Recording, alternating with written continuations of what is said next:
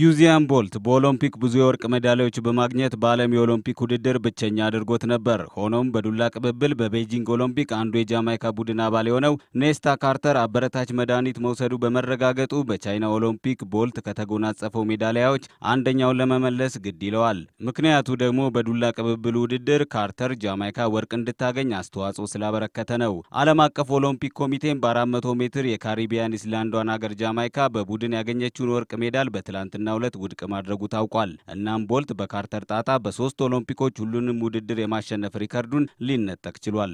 በጉዳዩ ዙሪያ የ30 ዓመቱ ቦልት በሰጠው የዘገየ አስተያየት ሁኔታው ልብ የሚሰብር ቢሆንም የወርቅ ሜዳሊያውን ግን በቀጣይ ውድድሮች እንደሚያገኘው በእርግጠኝነት ተናግሯል።